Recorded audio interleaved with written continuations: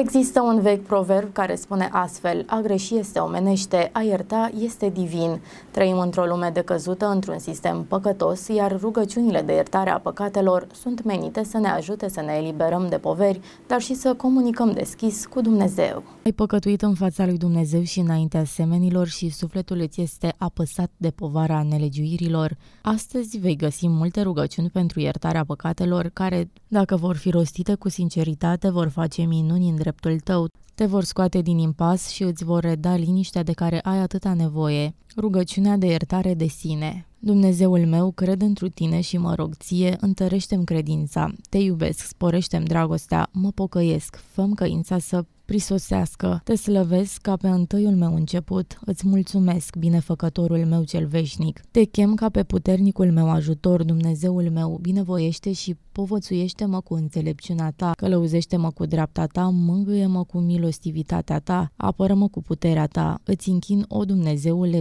gândurile, faptele, suferințele mele, ca în viitor să mă gândesc la tine, să grăiesc de tine, să lucrez după voia ta, să sufăr pentru tine. Doamne, eu voiesc ceea ce voiești tu, pentru că voiești să mă supun voii tale și făgăduiesc să fac ceea ce voiești tu. Te rog cu umilință, luminează mintea, curățește-mi trupul și sfințește-mi sufletul. Dumnezeule prea bun, ajută-mă să mă curățesc de greșelile trecute, să biruiesc ispitele viitoare și să lucrez cuvintele virtuții. Umple inima mea de dragoste pentru bunătatea ta, de ură pentru greșelile mele, de râvnă pentru binele aproapelui și de defăimare pentru, pentru deșertăciunile lumii. Amin, relatează playtech.ro